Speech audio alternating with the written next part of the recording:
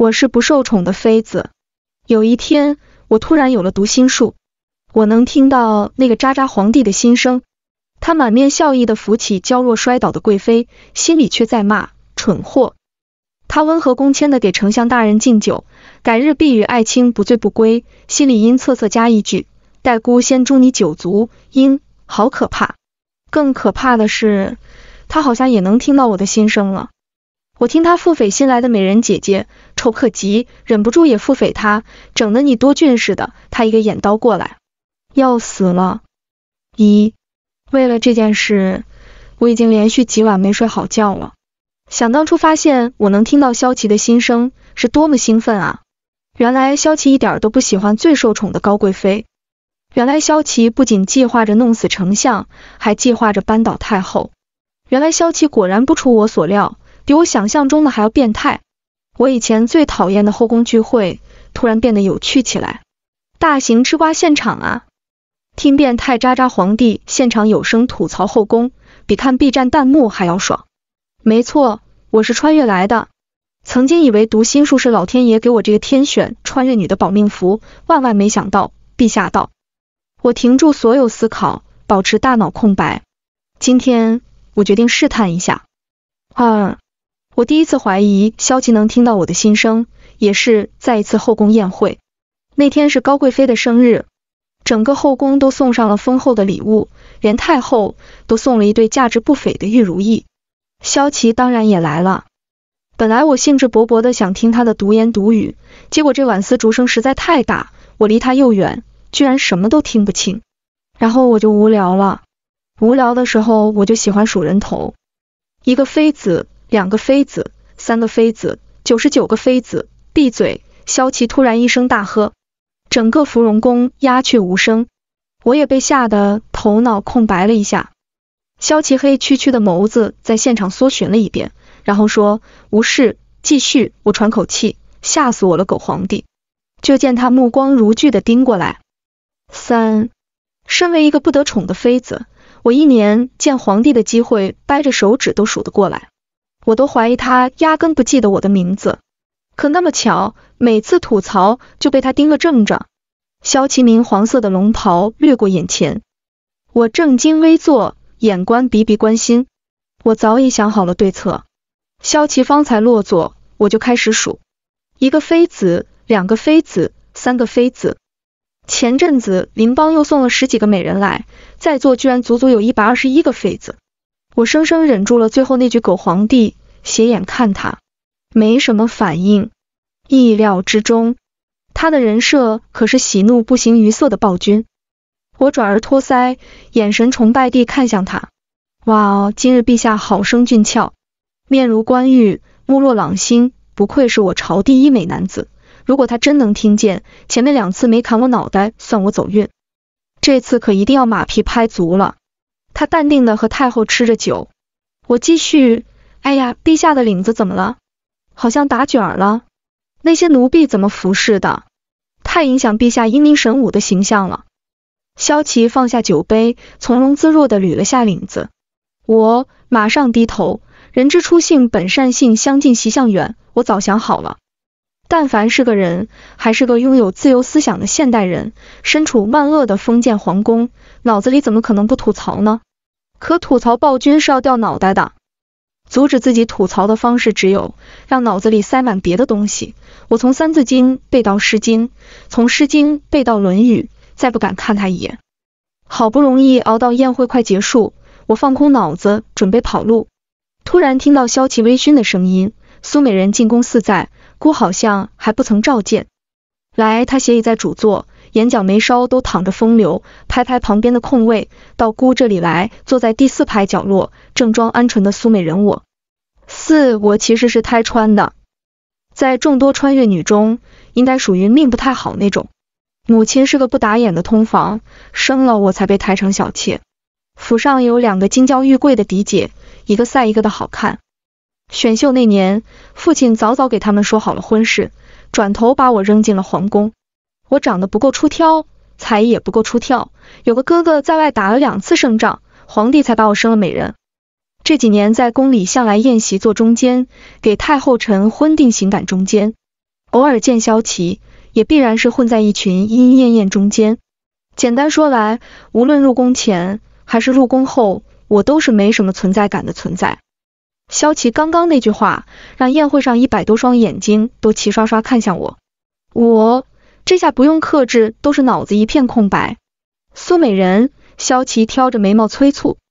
我无视吊狩猎宠妃们恨不得剜死我的眼神，还不忘掩饰自己真实的内心。陛下，陛下居然让我坐他旁边啊！怎么办？我好紧张，好激动。苏可奈刚刚坐下，就听到萧琪的心声。我你强忍住对他的冲动，我摆出娇羞的笑容。陛下，臣妾给您布菜，下面一双双眼睛都要把我盯成筛子了。这种时候更要抱萧琪大腿了。我心里一边念着预案上菜肴的名字，一边给萧琪夹菜。这两年的有声弹幕可不是白听的，夹的都是萧琪爱吃的。果然，萧琪神色颇为愉悦，心里在说：看来这苏家女果真对孤一往情深。我得意的在心里放弹幕：茵陛下吃我家的菜了，好开心。又听萧琪道：莫不是他为了邀宠对孤用了什么妖术？倘若如此，他冷笑一声：孤必要他不得好死。啪！我手一抖，筷子掉了。五晚宴结束，我就告病了，太吓人了。狗皇帝只是能听到我的心声，就想弄死我。要是让他知道，我知道他能听到我的心声，并且还能听到他的心声，他还不立马杀我祭天？好在他的读心术应该和我一样，距离远就听不见了。那我躲着他就行了，只要我躲着，一年半载都不一定能见他一面。香兰跟在我后面，唉声叹气，怎么偏偏这个时候病了呢？多好的机会呀！娘娘您知道吗？那个位置连贵妃娘娘都没坐过呢，这是多大的恩宠啊！哎，您别起来，赶紧躺着，快快好起来。我这一病就病了半个月，半个月之后，我琢磨着萧琪应该早把我这茬给忘了，我也实在躺不下去了，于是悠哉哉的继续和香兰过起了清闲日子。虽然老天爷给我又是穿越又是读心术的，但我有自知之明。上辈子看了那么多宫斗小说，就我这能耐，熬死狗皇帝，当个太妃出宫去庙里祈福，就是最大的胜利了。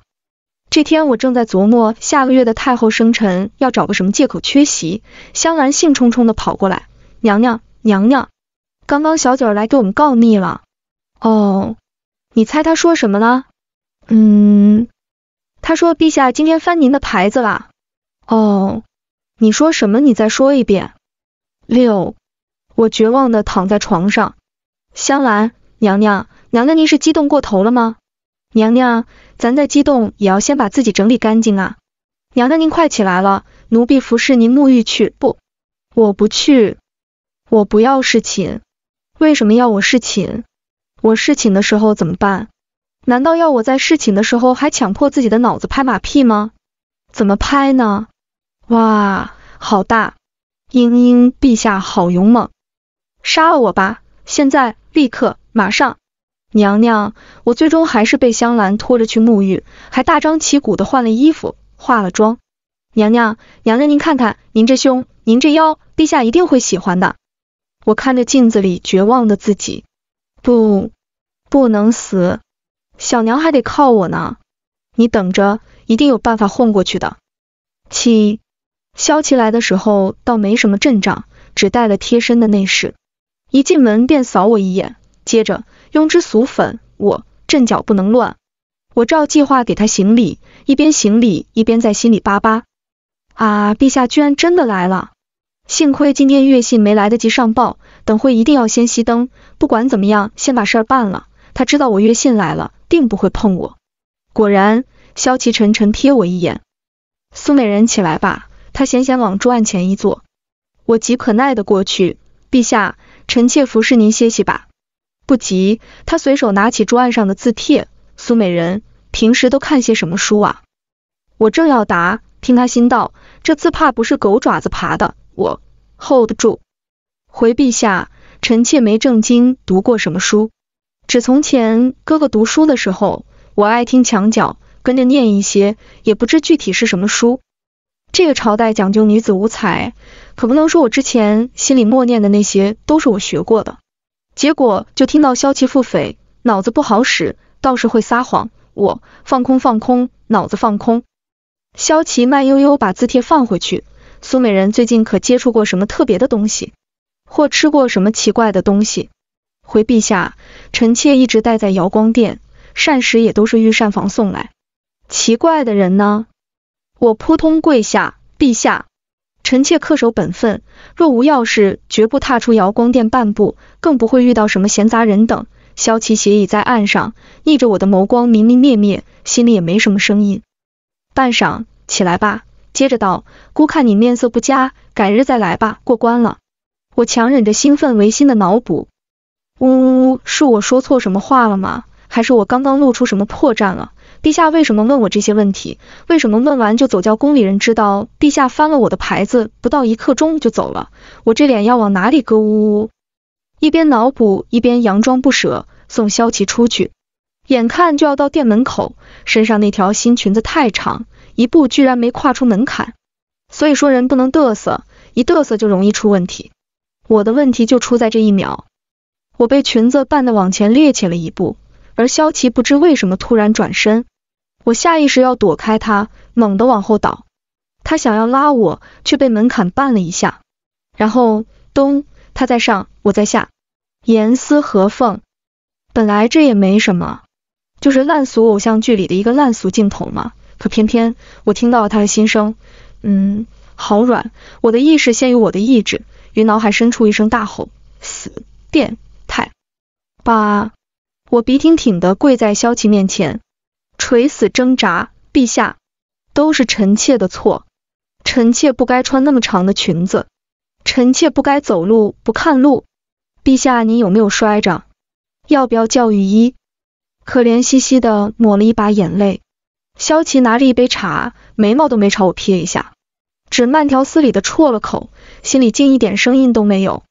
苏美人半晌，他才慢悠悠的开口：“死变态是何意？”我是是，不等我挣扎出个说法，他一眼看过来，阴恻恻的勾起唇角。那声狗皇帝叫的也颇为别致。我死了死了死了死了死了，现在知道怕了。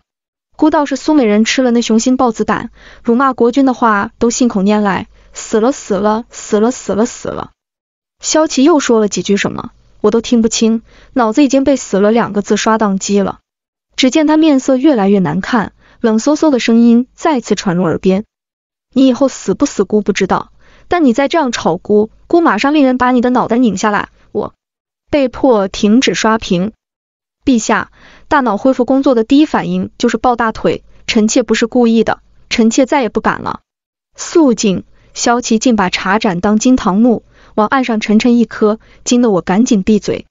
不想死，我忙摇头，不想死，老实回答姑的问题。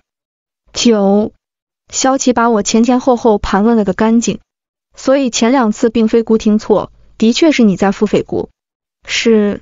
也就是姑心里在想什么，你也听得见。是，从何时开始？我每试一声，萧琪的脸就黑一分。问到这句的时候，我都怀疑他下一秒就要拧我脖子了。我舌头直打卷。两两年前，啪，他气得拍桌。下一秒又镇定下来，勾起唇角。如此看来，苏美人知道不少姑的秘密。臣妾，臣妾脑子不太好使，听了就忘，真的。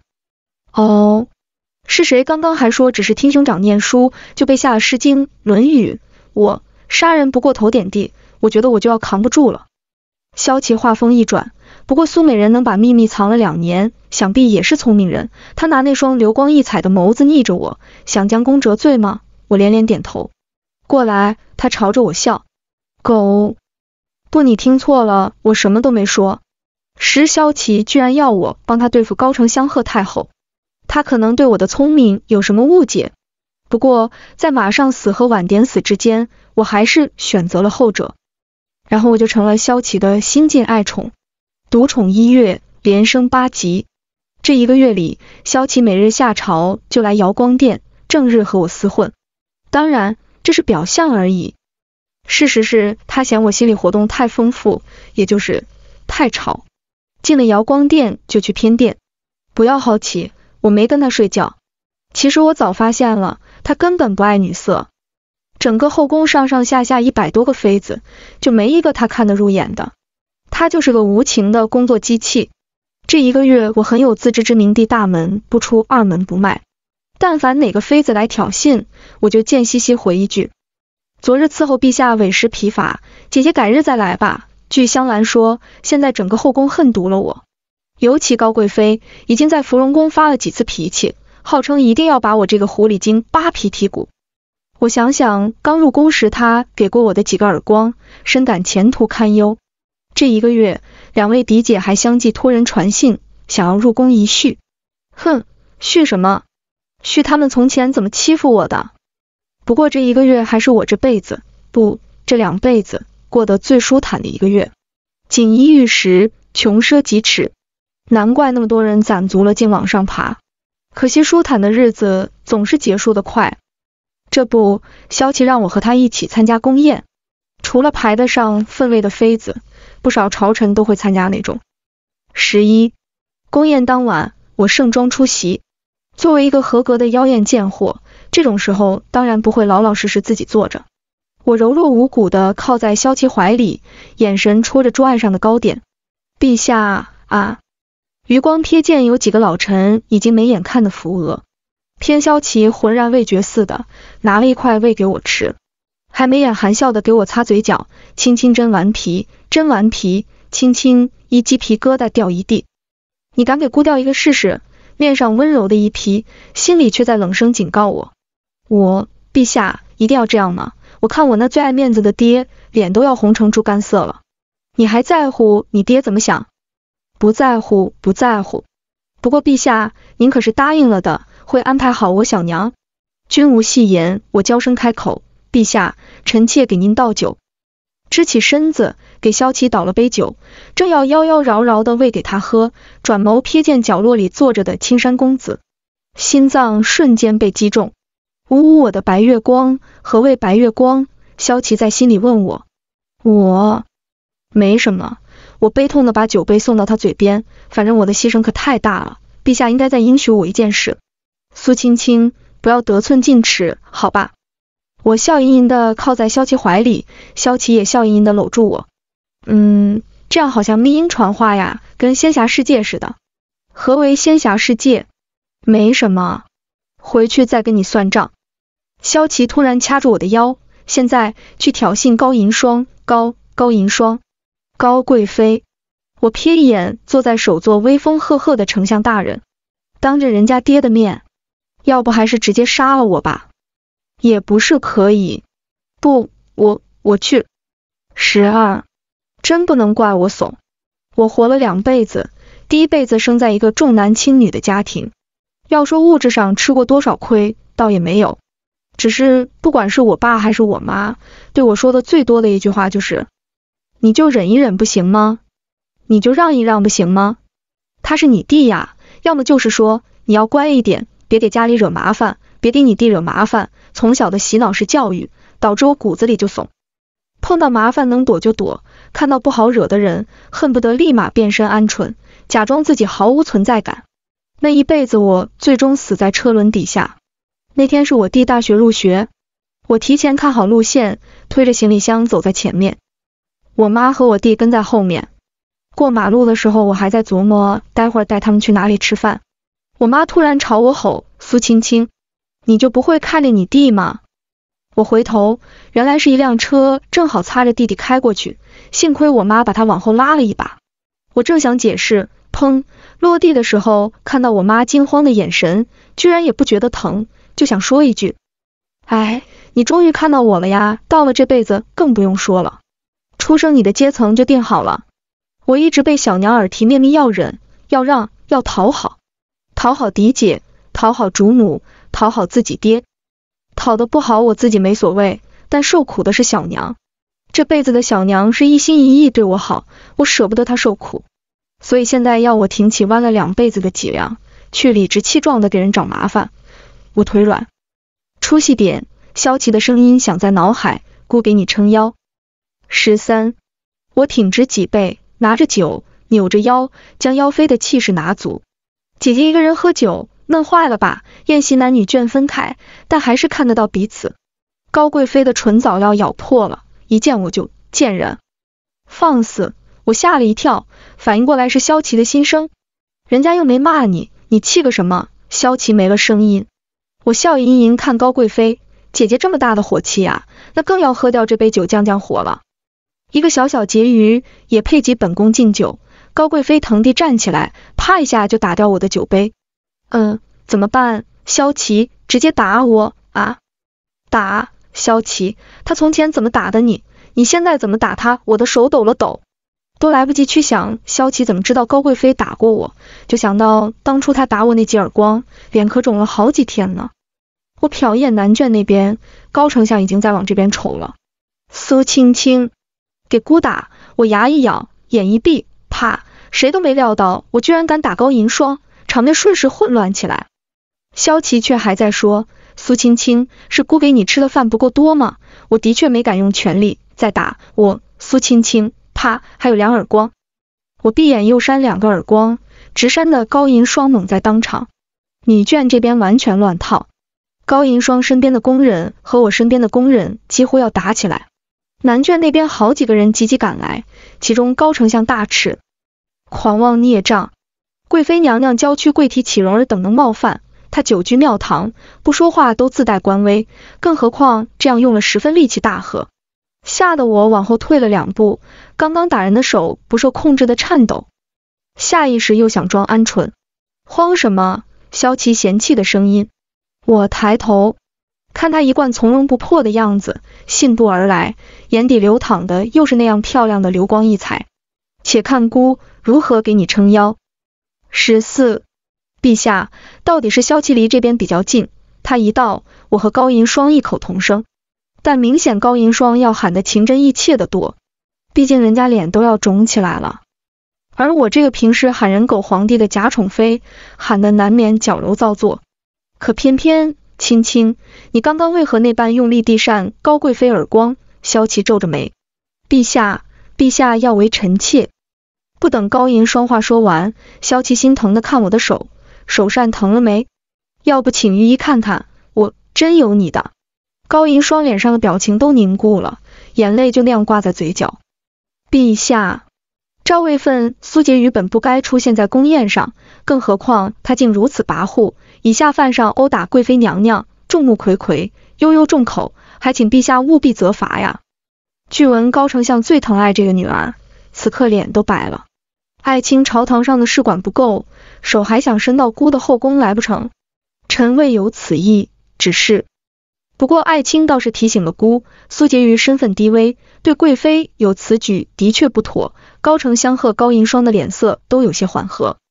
高贵妃惯来跋扈，姑素有耳闻，今日更大闹宫宴，有失体统。但看在这些年她协理后宫有功，便贬为三品婕妤。至于苏婕妤，姑观其品性纯善，率直天真，淑德于心，擢升为惠妃。惠妃要惩戒一个婕妤，总该妥当了吧？萧琪就用那样温和又漫不经心的语气下了两道荒诞的圣旨，惊得所有人目瞪口呆。十五，我虽然弄不明白朝堂里那些事，也大概明白萧琪应该是在借着高银霜敲打高丞相。不过想想高贵妃曾经的盛宠和今天雪白的脸，还是啧啧了两声。你倒是心善，萧琪在我面前越来越不伪装自己了。冷笑，当年他执意把她送到后宫，就该想到今日的下场，啧真是一点隐私都没有。青青放心，孤代青青是不一样的。七鬼才信，我也懒得再在萧琪面前伪装自己的大脑，反正他要弄死我，早有八百种方法弄死我了。沐浴的时候，我忍不住看自己的双手，我居然打了高银霜四个耳光。那年我初入宫，和他在公道上偶遇，被他头上的金钗晃了眼，行礼晚了点。不知他那天为什么心情不好，逮着我一顿发泄，不多不少，正好四个耳光。这还是第一次，我把受过的委屈还了回去，说不清是什么感觉，心头有点酸，又有点胀。两辈子我都没有这样放肆过。不过萧琪是怎么知道高银霜打过我呢？今晚其实只打一两个耳光也能达到目的。他为什么偏偏要我打四个耳光呢？难道我猛地从浴桶里坐起来，想起一个被自己忽视很久的问题。第一次怀疑他能听见我的心声，是因为丝竹声太大，我听不到他的吐槽，只能无聊地数妃子。那同样的环境，他怎么就能听见我呢？萧琪习武，习武之人耳聪目明，其他感知也必定比常人更敏锐。所以，陛下，我饿了，想吃酒酿圆子。看着萧琪旁边的内侍送来一碗酒酿圆子的时候，我一头倒在了被子里。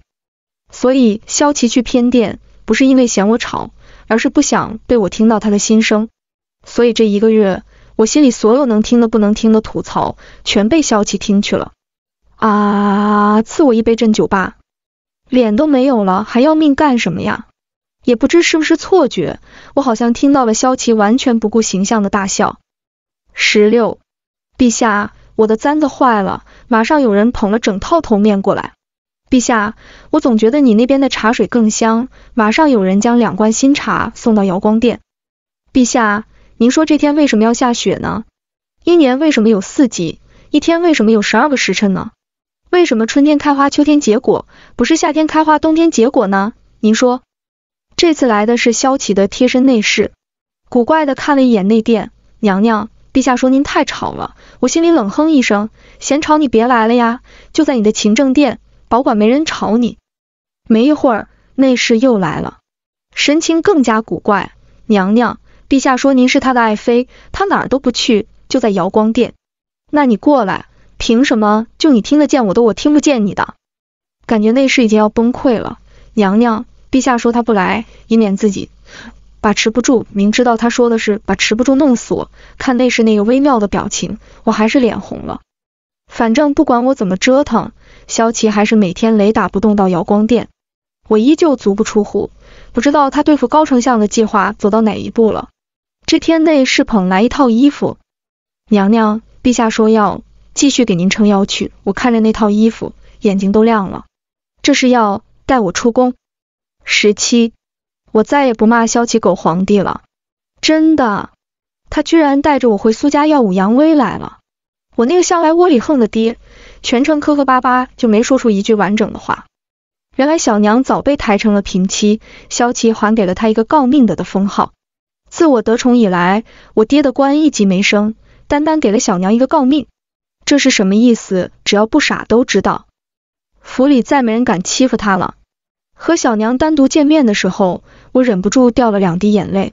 小娘问我是不是后宫的日子不好过，我摇头，虽然知道都是假的。可两辈子了，我从来没有这样被人偏爱过。大概是萧骑士先知会过，两个嫡姐也在家中，围着我又是奉承又是巴结，就差把我供起来了。这腰撑得如何？萧琪在心里问我。我腹诽他幼稚鬼，萧琪也不反驳，只扬唇抬起下巴，像只骄傲的孔雀，被他笑死。在娘家耀武扬威完毕，萧琪带我逛街。可怜我穿过来十几年，其他穿越女常干的什么听曲儿、逛青楼，我一件没干过。萧琪带我逛青楼是可能了，听听曲儿还比较可行。第一次听这边的戏腔，我压根听不懂。台上每唱一句，萧琪就在心里给我翻译一句。听到后来也不知道听了些什么，只觉得一颗心像在小船上似的，晃啊荡啊。前面说过人不能嘚瑟，一嘚瑟就容易出事。一把大刀砍翻桌子的时候，我正托着腮试图扶正心里那艘小船。萧琪将我用力往后拉，我才没有直接趴地上。有刺客，不知是谁大喝一声，我才反应过来，这可是刀剑无眼的古代，而我身边的是被刺杀频率最高的皇帝。场面一瞬混乱，萧齐将我推到角落。我这种骨子里的怂货，碰到这种事应该是第一时间装鹌鹑的。可我挺直了背脊，居然眼都没敢眨。眼看一把大刀朝萧齐砍去，住手！我都不明白萧齐为什么突然一声暴喝，背后的剧痛传来的时候，才发现比意志更难控制的是意识，而比意识更难控制的是身体。我居然不要命的为萧琪挡了一刀。十八，我觉得我要死了，血跟不要钱似的往外淌。萧琪在发火，催马车再快一些。我想叫他别着急，穿越女吗？为男主挡刀，常规操作。也不知道作者为什么要给我安排这么个烂俗的桥段，就没点心梗吗？喉咙咕噜了一下，却没发出声音。突然想到，我也是有金手指的，在心里喊萧琪：“陛下，陛下，你放心，我死不了的。”萧琪死死抓着我的手。低下头时，眼眶居然是红的。他也不在心里跟我对话了，直接骂我：“你怎么那么蠢？那些刺客都是姑安排的，何须你提骨挡刀？哎，你早点跟我讲嘛？你也知道我脑子不好使。是姑的错，他居然跟我道歉，对不起，青青，以后姑做什么都不瞒着你。哎，别说对不起啊，你没错啊，我的脑子轻飘飘的，想到什么就一顿输出。”虽然我总是说你狗皇帝，但良心话，你是个很好的皇帝。你勤政爱民，不单女色，知人善用，这么年轻就已经把帝王之术熟稔于心。百姓有你这样的皇帝是他们的福气，其实也是我的福气啊。萧启，我连陛下都顾不上喊了。我在你后宫这四年其实过得可好了，只是偶尔被刁难而已。谁都不用巴结，谁都不用讨好。萧启。外面在下雪吗？好冷啊！萧琪摸我的脸，手有些颤抖。青青，再等等，马上回宫了。不等了，我好困。苏青青，你清醒点，我的脑子都转不动了，识海里一片混沌。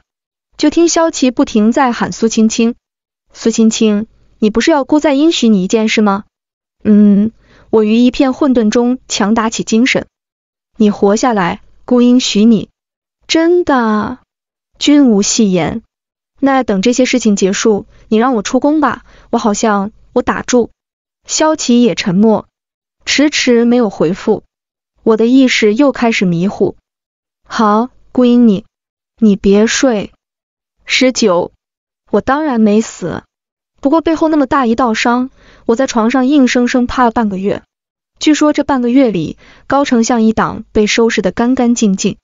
连高银霜都出宫礼佛去了。我的另一个攻略对象太后也在萧琪遇刺的第二天回宫了。回宫当天就把萧琪拎过去训了一顿。萧琪终于从瑶光殿搬走了。不过他每天还是会过来一两个时辰，导致外面对我妖妃的评价仍旧甚嚣尘上。伤好后我又养了半个月，这天忍不住问萧琪，接下来要我做什么？不是要掰太后吗？你不需要做什么，哎。那我岂不是可以出宫了？萧琪的脸突然沉下来，我真是佩服他，他可以在我这里的一两个时辰，不让我听到任何不该听到的心声，真不愧是做皇帝的人，不像我，早就放飞自我了。我知道，我继续做妖妃就行了，是吧？萧琪脸色这才缓和一些。那太后的晨昏定省也继续不去吗？不去。我困惑的看他。总觉得他最近心情不太好，姑心情好的很。他扯了下唇角，好吧。我低头绣香囊，我的绣活被小娘逼着练过，比毛笔字写的好。再抬头时，萧琪还在。我看他欲言又止的样子，刚想问怎么了，他甩袖走了。我别扭鬼。二十，我果然只用做自己的妖妃就行了。半个月后。传来皇帝和太后不和的消息，因为萧齐该立后了，太后要立娘家的薛氏女为后，而皇帝坚持立我这个妖妃为后。就我的出身和风评，那自然闹得满朝风雨。又过了一个月，一切突然平息，没有人再提立后的事，也没有人大肆贬谪我如何吆喝皇帝。前朝发生什么事情我不太清楚，但萧齐应该快要用不上我了。他有好久好久没来过瑶光殿了，虽然隔三差五会有赏赐过来，但我其实很久没有看到他的人了。所以这晚夜半醒来，迷迷糊糊见他坐在我窗边的矮榻上，还以为自己是做梦。他一身月白色的长袍，灯都没点，只就着月光喝茶。萧琪，忘了喊陛下，我坐起来才发现不是梦。太后那边处理完了吗？不等我话落音，他立马就说没有。哦，一时两相沉默。你不睡觉？萧琪拿着茶杯的手顿了下，放下茶杯，踱不到我床边。嗯，偏殿的床铺都是灰尘，他径直躺下，我只好往里面挪。他没有别的心思，因为躺下就背对着我。我眨眨眼，也背对他，强迫自己清空脑子，快点睡觉。他突然问我：“苏青青，你为什么想出宫？”我的心声带我回答了：“自由啊，姑也可以。”说到一半，他又说：“出宫之后你想做什么？”还没想好。不过我听小娘说，有些姑娘做绣娘也能养活自己。难得听到萧琪一句心声，他说：“难怪成日埋头刺绣。”我没说话。他突然把身子转过来：“苏青青，你喜欢什么样的男子？”我的背脊僵住，没敢跟着转过身。陛下呢？喜欢什么样的女子？他被我问住。反正不会是我这样的。谁说的？你自己说的呀。我学着他的语调。庸脂俗粉，姑那时，姑是那等以色取人的凡夫俗子吗？你还说过我脑子不好使，爱撒谎。萧琪支起身子，掰我的肩膀。那姑还说过你品性纯善，率直天真。我扭头和他对视，没关系，反正我也不会喜欢你这样的。萧琪的话戛然而止，那双笑起来流光溢彩的眸子里星辰陨落。他坐起身，沉默。窗外有风，树叶沙沙作响。半晌，空气冷下来，他的声音也冷下来。三日后，姑送你出宫。直到萧琪离开了一刻钟，我的肩膀才松下来。唉，我果然是个爱撒谎的姑娘。明明喜欢萧琪，喜欢的不得了，喜欢到意识过来的第一反应就是离开。他又不是我一个人的，他是整个后宫，是整个天下的。可两辈子才有一次的偏爱呀。我想把它封存起来，只要我离开，只要我没有亲眼看见，他就永远是那个偏爱我、专宠我、会为我一个人撑腰的萧琪，多好。二十一，第二日，萧琪那边又来了很多赏赐，什么首饰、摆件、字画，各种各样想得到的、想不到的。我觉得他存心气我，明知道这些东西我带不走，带走了也没法变卖，还分批次来。每次来整整一屋子，工人们才收拾起来，又来一屋子。我想出去摘些桂花，见太忙，干脆没喊人陪，自己出了瑶光殿。反正河宫都知道我是妖妃，没谁会来触我眉头。正是金秋，我走出瑶光殿没多远，就找到两棵开的正好的桂花树。昨天萧琪说我成日埋头刺绣，以为我是为了出宫做准备，其实不是，我想给他绣个香囊。可总也不满意，来来回回绣了好多个，才有一个勉强过得去。今天摘些桂花晾干，应该来得及在出宫前把香囊做好。我只要做一个香囊而已，需要的桂花不多。可就这么短的时间，不知谁突然捂住我的口鼻，一阵异香入鼻，意识全无。再次恢复意识是听到一声大喝：“你敢？您敢公然在儿臣眼皮子底下撸人？姑又有什么不敢的？”萧琪，哀家说了，是那妖妃为祸朝纲，老天爷都看不过眼，将她收了去，与哀家何干？太太后，荒谬至极！但凡陛下顾及母子情分，能让哀家过得舒心些，他自然就回去了。顾勋，把坤仪宫给孤围了。顾勋，羽林军总领。我努力让自己清醒过来，眼前却是一片漆黑，手脚被缚住，身上没什么力气。嗓子像是被熏过，发不出声音。不过没关系，我们有金手指啊。萧琪，别费劲了，我就在这里。我在心里大喊。萧琪那边却没什么反应，倒是听到太后啜泣的声音。哀家虽不是你生身母亲，但亲手将你抚养长大，可曾让你受过半点委屈？薛家这些年扶你坐稳皇位，没有功劳也有苦劳，你就收一个薛家女入宫又如何？萧琪的声音是我从未听过的冷肃。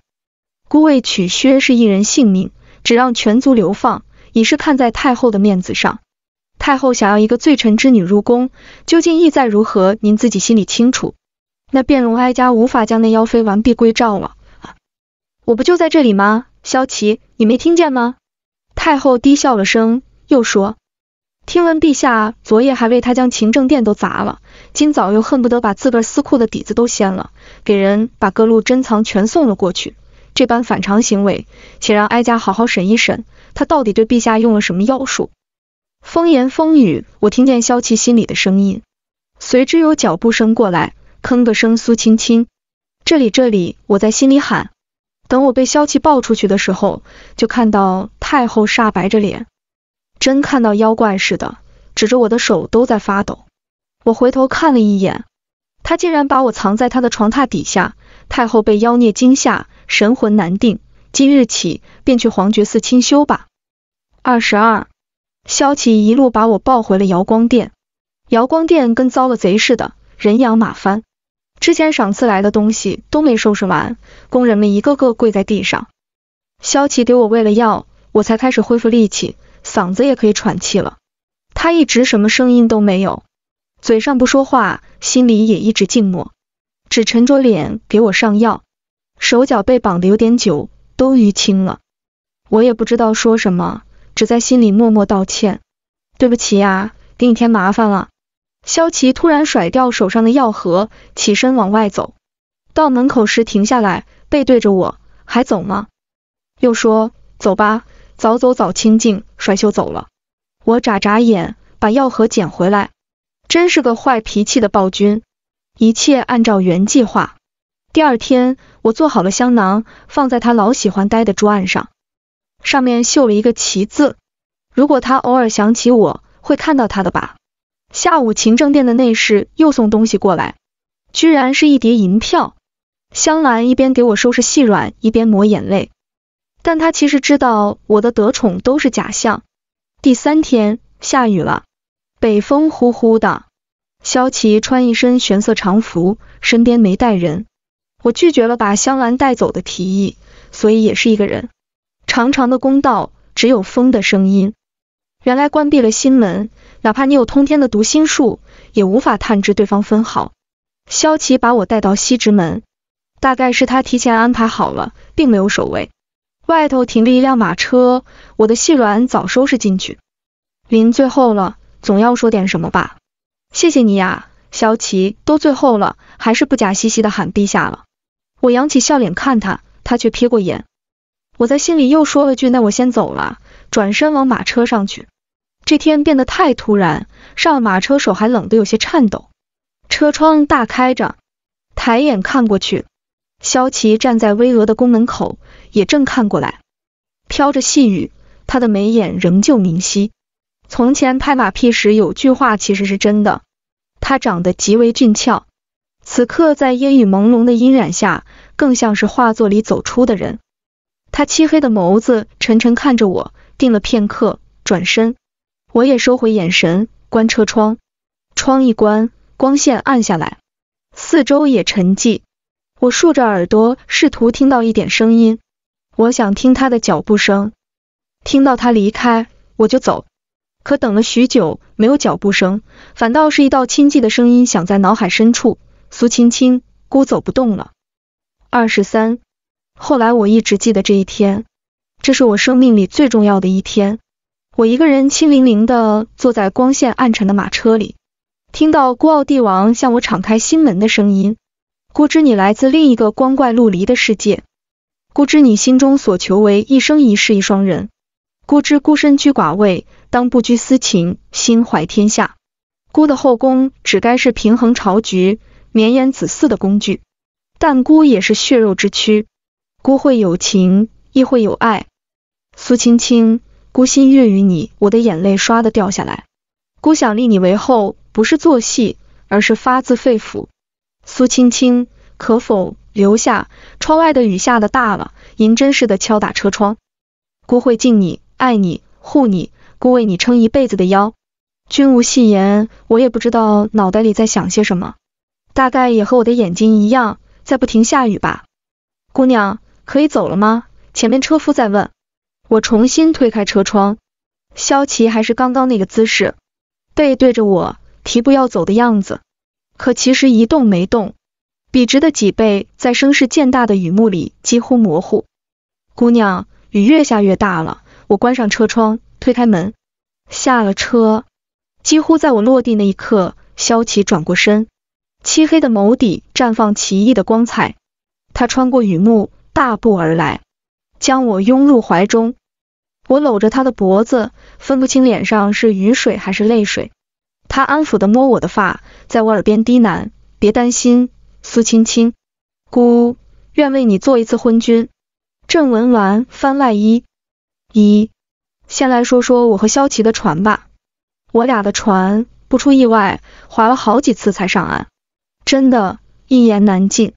我恨不得找个创可贴把我的脑子贴起来。一开始真的想都不能想，把他赶出去了好几次。可人家真的说到做到，后宫那些妃子浅的浅，散的散，总不能让人守活寡吧。后来也就狠下心，来就来吧。第一晚就差点翻车。首先是我的意识再次先于我的意志，脑子第一时间吐槽，好丑。萧琪的脸色当即就不太好看。你还看过漂亮的？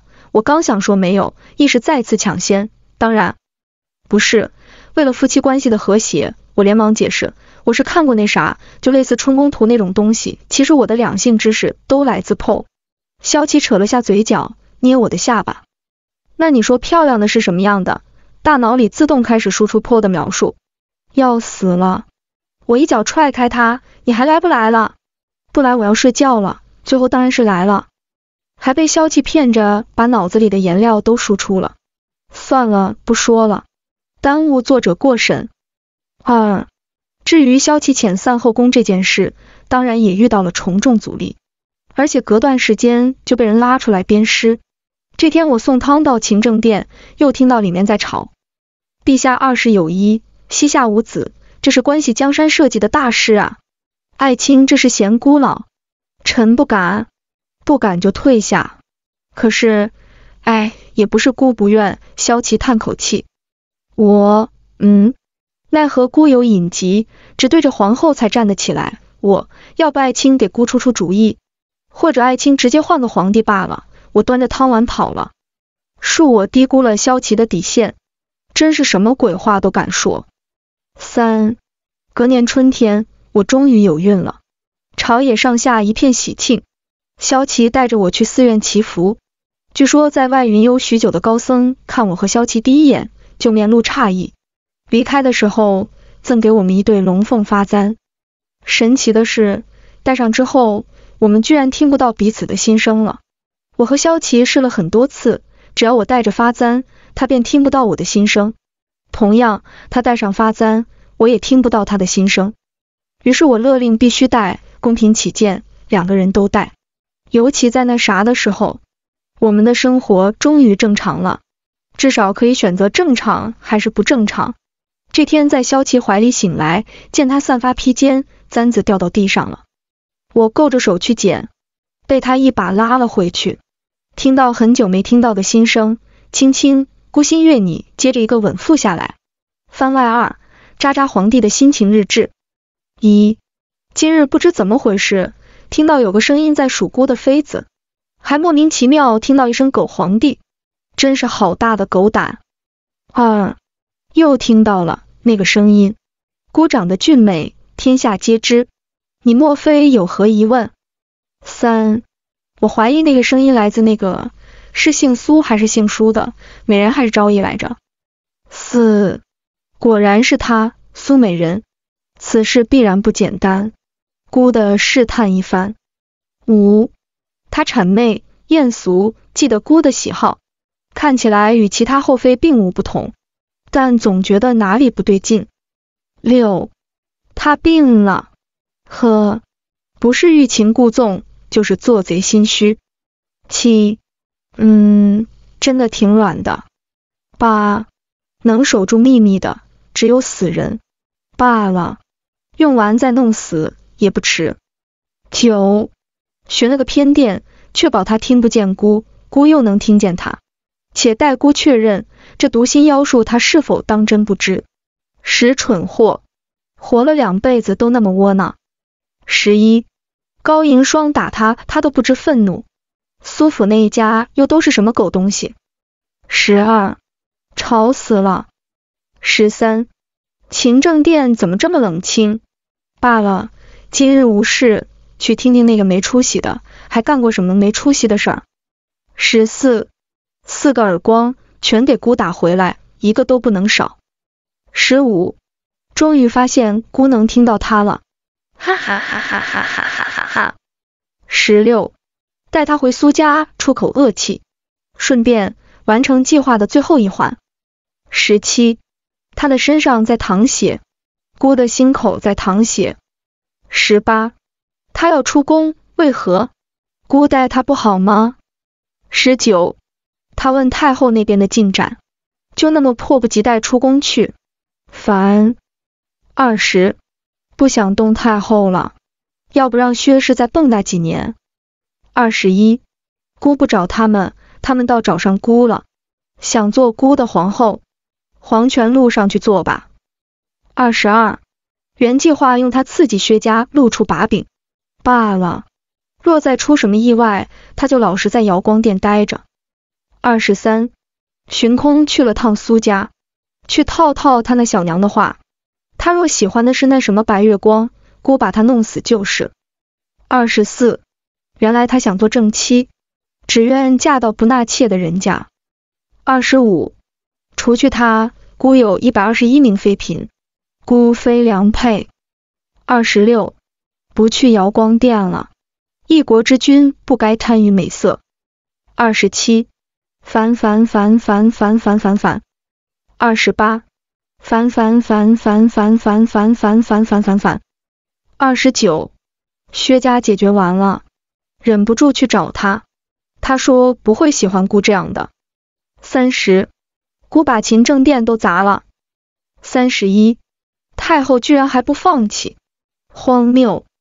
三十二，送他走，必须送他走，被一个女子左右，非明君所为。三十三，他能走，孤却走不动了。三十四，为何可以呢？他想要的为何不可以给？三十五，做一次昏君，只此一次。三十六，他留下来了。他在孤怀里，孤真正拥有了天下。全文完。